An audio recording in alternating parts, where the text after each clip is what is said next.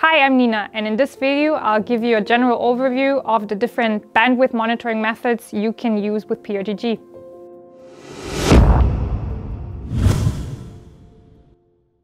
Now let's get started.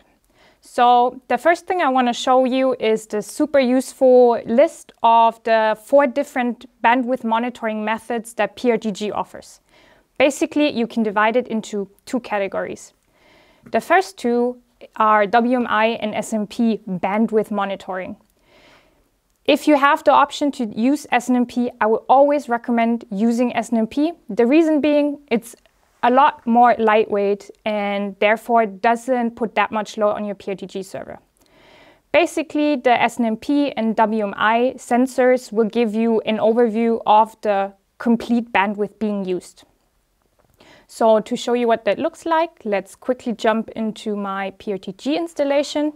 Here we have an SNMP traffic sensor. And as you can see, it gives me the broadcast in, the broadcast out, as well as my discards. Should there be a downtime, of course, it will show me. Show me. and then you have all these little channels here that will also show you the unicasts and, as I said, the traffic total.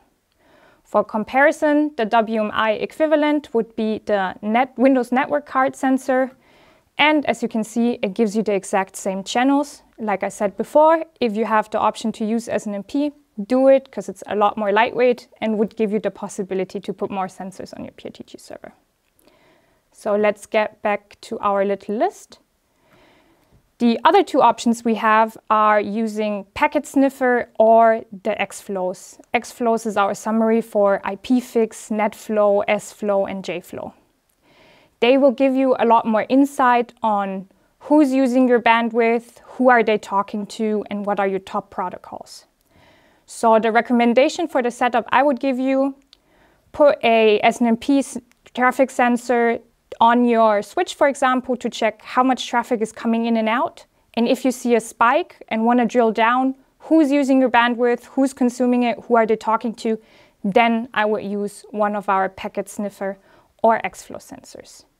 So what do they look like? Let me give you as an example this NetFlow V9 sensor. Now you can already see it looks quite different. We have more channels and we also have these top lists up here.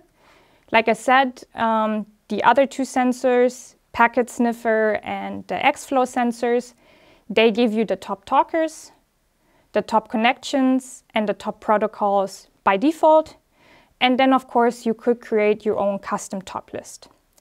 Other things you can see here, for example, is uh, we can see how much is being used by chats, by email, by our website, by our different servers like DNS or FTP.